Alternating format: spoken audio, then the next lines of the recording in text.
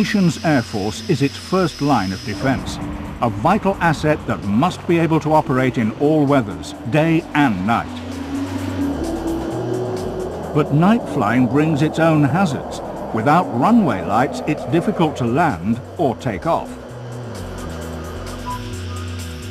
So what if those lights are damaged by enemy action or a simple power outage? Or what if there's an urgent requirement to establish a temporary airstrip to ensure local air supremacy or an emergency or to support covert operations, perhaps on unconventional or unimproved surfaces? Without landing lights, such flexibility is impossible. Without flexibility, a multi-billion dollar asset rapidly loses its value. At worst, grounded, that multi-billion dollar asset becomes just a very expensive target. The simple answer is MOSKIT, Minimum Operating Strip Lighting Kit.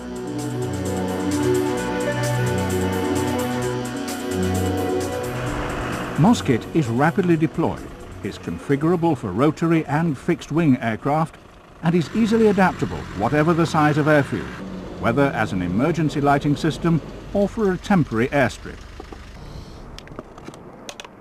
Portable, robust, simple, and proven by the armed forces of Britain, the USA, several NATO countries and many others, it's used around the world.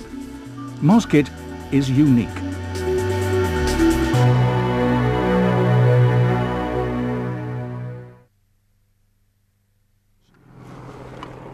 MOSKIT is a self-supporting system with standalone capability.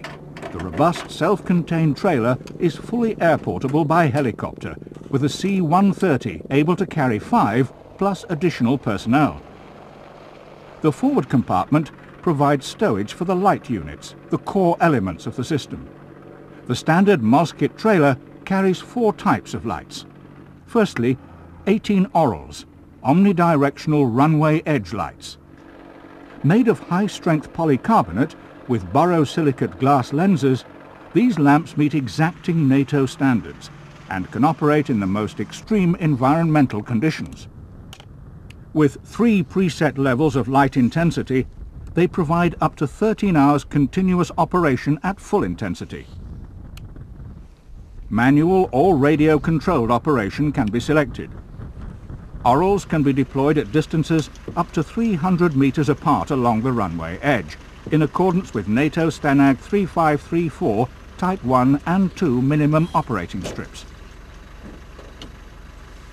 The UAL, Unidirectional Approach Light, is based on the Oral and uses many common components. Three of these generator-powered lights are carried on the standard trailer, two for operation and one as a spare. When used as part of the MOS layout, the UALs are placed in line with the centre of the runway at the approach end. By setting the desired approach angle on the scale and adjusting the built-in spirit level, the lamp is quickly and precisely positioned between 2 and 8 degrees elevation to suit the approach angle of the aircraft. The standard MOSKIT carries two generator-powered TAC-PAPIs, Tactical Precision Approach Path Indicators, the PAPI is suitable for visual flight operations both day and night. These lightweight units are deployed in a wing bar 9 metres out from the port side of the runway approach. A built-in spirit level and inclinometer ensure ease of deployment and accuracy of setting. Four NVG PAPIs, night vision goggle compatible precision approach path indicators, are also supplied with MOSKIT. Similar in appearance to the TAC-PAPI and constructed to the same high standards, these units emit infrared light at a fixed intensity, so providing complete compatibility with Generation 2 and 3 night vision goggles. The rest of the equipment supplied with the trailer includes a battery charger which charges the Orals, NVG PAPIs, drill and pedometer. Housed in the aft compartment are two diesel-driven generators. One is a spare or can be used if expansion of the approach lighting array is required. Each is securely mounted but is easily removed for repair or maintenance. Finally, the trailer contains a powered cable drum for the deployment and recovery of cable.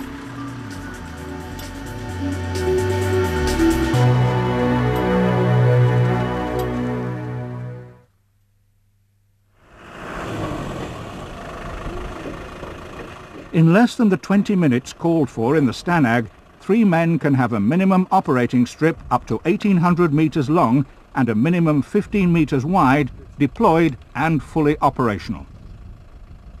Moskit is a unique system, the first of its kind and proven around the world by the RAF, the US Marine Corps and many other air forces.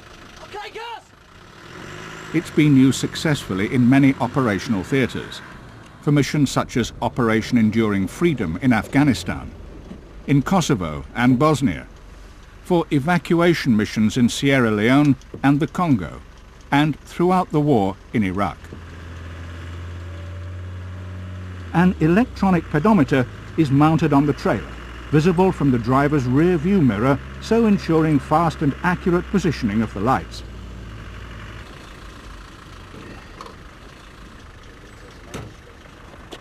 Moskit is the only portable airfield lighting system that meets NATO STANAGs 3534 and 7025 relating to Type 1 and Type 2 minimum operating strip airfields.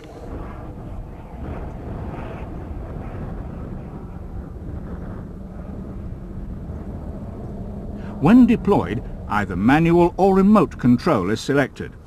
Radio control is via a coded VHF receiver module controlled by a handheld master switching unit, or MSU. Secure remote control by radio is possible from up to 4 kilometers away.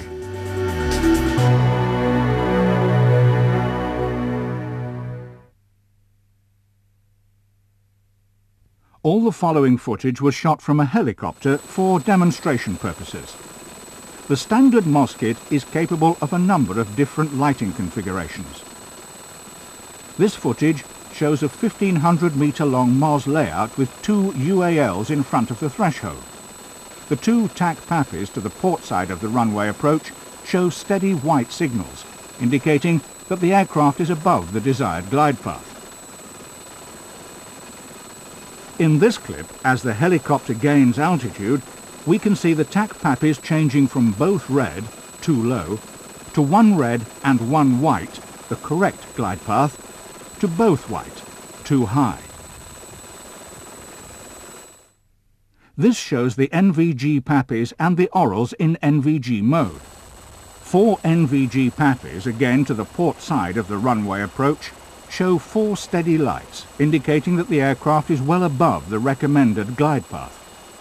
A signal of two steady and two flashing lights would indicate that the aircraft was on the correct glide path, while all four flashing would indicate it was below.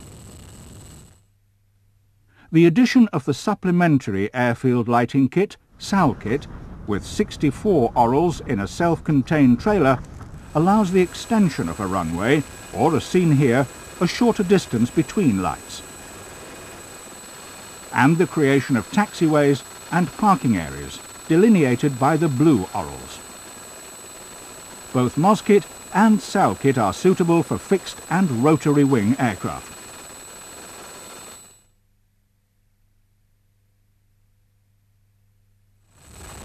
Orals are easily configured to create helicopter landing zones, including FATO, final approach and takeoff.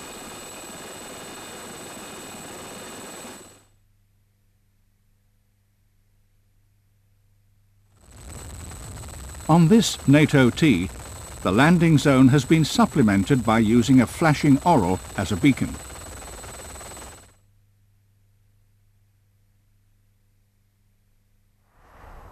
Metalite Aviation also offers a cable-based system, CALKIT, that contains cable, junction boxes and sentry boxes for 24-hour operation of the orals deployed from Moskit and Salkit.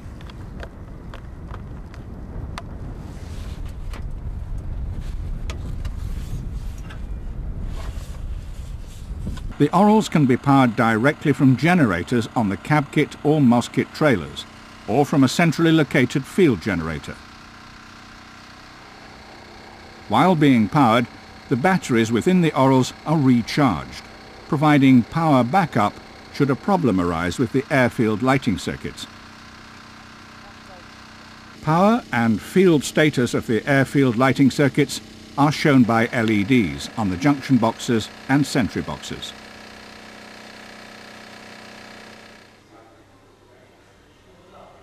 A container-based version of CALKIT is also available. CALKIT is now entering service with the US Marine Corps after successful trials under operational conditions.